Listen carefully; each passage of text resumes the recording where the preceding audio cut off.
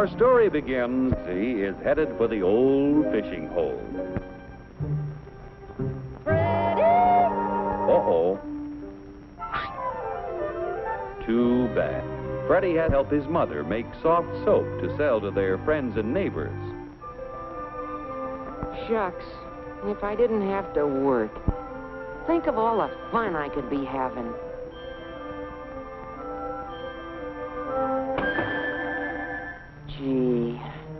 Freddie tries to figure out an easier and quicker way to make soap.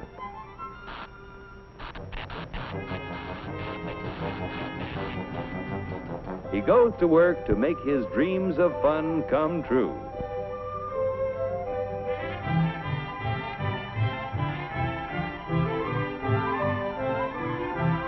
After years of working night and day, Freddie's experiments bring success.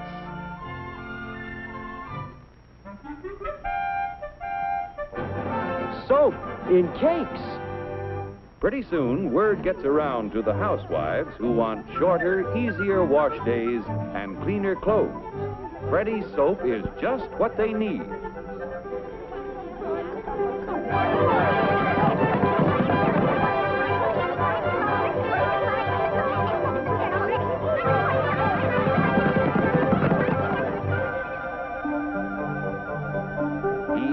His profits in larger quarters and new equipment to make enough soap to satisfy the demand. Finally, his dreams come true. Time off for fun on Saturday. Hey, Freddie, a guy can fish anytime.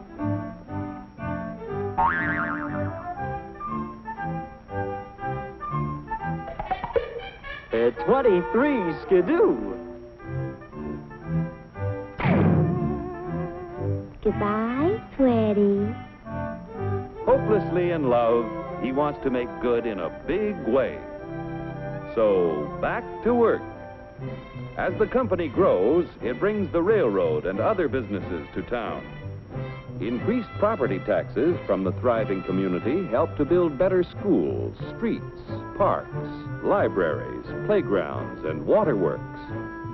Taxes even help to provide more and better governmental services, such as police protection.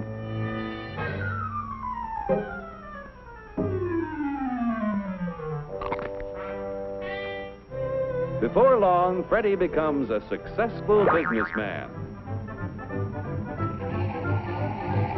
And, incidentally, a successful husband and father. Fudsy's expanding company creates all kinds of jobs that never existed before. To increase production and sales, Fudsy builds up a strong labor management team. Each year, he invests a portion of his profits in research to develop better soap that can be made to sell at lower prices. The Fudsy Company continues to grow with the years because it makes a good soap, which in competition others sells at a fair price. Competition forces each manufacturer to improve his product, to sell it for less, and to give the consumer more for a dollar than his competitor. And Fudsy is hard to beat. Finally, he gets so many orders he realizes that one factory simply can't meet the demand. His profit motive starts sparking to figure out a way to increase production. He forms a corporation and issues stock to raise money to build factories from coast to coast. Fudsy's employees have faith in his management and back him with their savings. Banks loan depositors money to help finance the expansion program. Insurance companies loan the funds of their policyholders to help build the factories. Stock exchanges act as a clearinghouse for people from all walks of life to buy securities. Before long, everybody gets plenty of soap. At last, Fudsy's success is complete. Soap City. The profit motive, which drove Fudsy to accomplish so much, may bring out the evil as well as the good.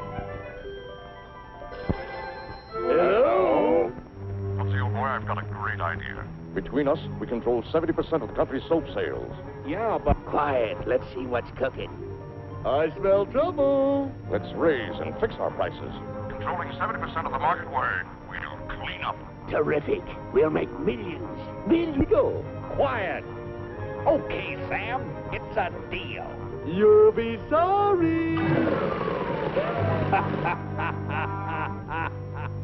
Fudsy and Sam Sudso raise and fix prices, but the result is not what they expect. A competitor comes along with a good bar of soap that sells at a lower price. Since shoppers always seek maximum value, only the lower priced soap sells. While Fudsy and Sam Sudso's profits turn into losses. 99 times out of 100, competition works. When it doesn't, the government steps in to prevent monopolistic attempts. That was a tough break. Now, the next time.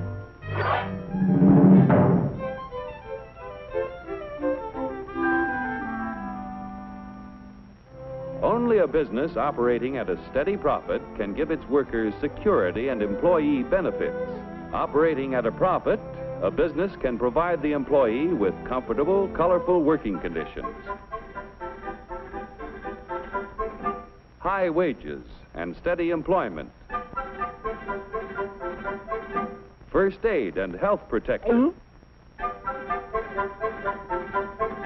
Accident and life insurance. Time off for vacations. The employee working for a profitable business can maintain a savings account, own his own home, and have plenty of leisure to enjoy the peace and quiet of family life. When investors receive fair dividends, they are eager to supply industry with a steady flow of capital to create new tools and plants, which in turn create new jobs. With business prosperous and employment high, the farmer has a ready and profitable market for the sale of his produce. When businesses all over the country operate at a steady profit, our economic health is tops. Billions in taxes paid out of profits flow into local, state, and governments. The profit motive has been the driving force back of the growth of American industry. American system of free enterprise will give the young people of today the freedom of opportunity to develop ideas which will make a better way of life for the children of tomorrow.